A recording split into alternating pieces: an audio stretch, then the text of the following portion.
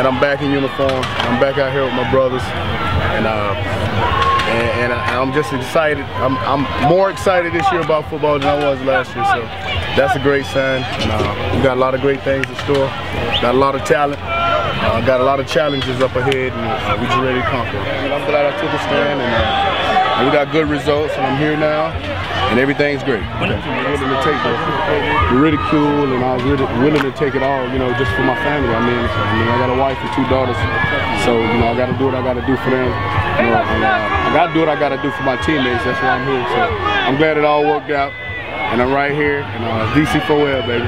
So, so it's fair to say about that. It's always great to have a lot of uh, talent around you. Uh, uh, it's always great, you know. You know, I'm only one man, you know. So, and I'm glad we got many men now. So, it's gonna be it's gonna be a great it's gonna be a great outfit. You know, I know Coach Rod put us in a position to make a lot of plays and uh, put all the right things in order and make it happen. And your first day here, you become a peacemaker.